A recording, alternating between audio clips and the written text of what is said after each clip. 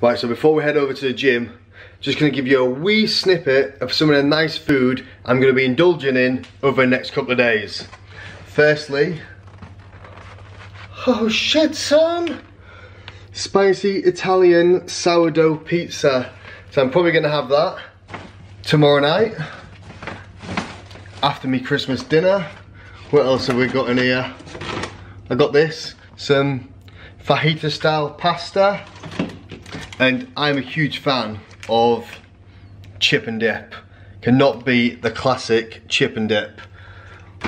What else have I got? What else have I got? Lots and lots of vegetables and Christmas meal food. The chocolate drawer. So, oh, Reese's Snowman. Mm. And this is basically Harry's chocolate drawer that I'm going to run a train through. So if you look in there, so if you look in there, there's a selection of various different chocolates that she may not come back to on the 27th. Sorry Harriet. Moving into the cupboard, moving into the cupboard. Ta-da! These bacon bites, that is where it is at. Bacon rashers with dip, absolute game changer.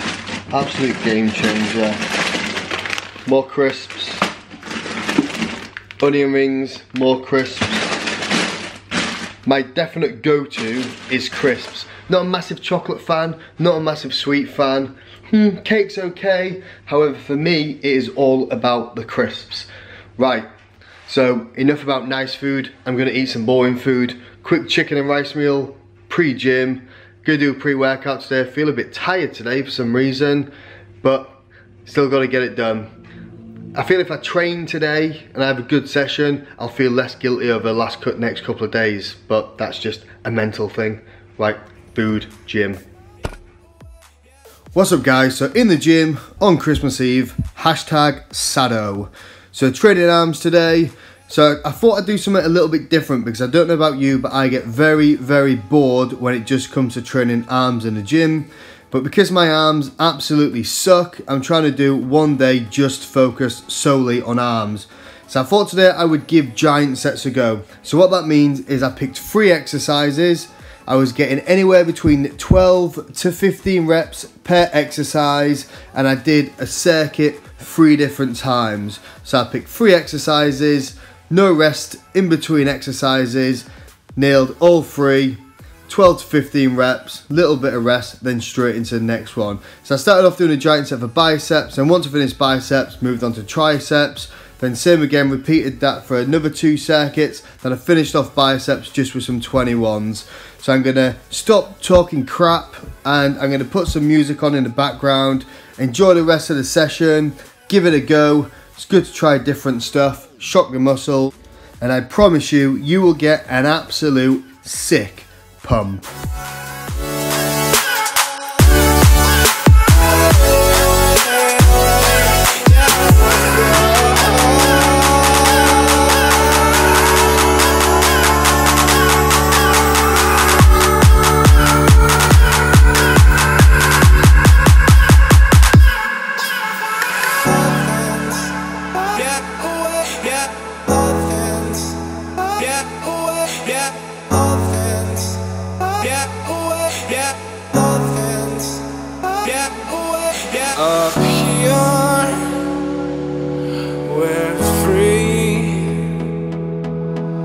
Bound only by frozen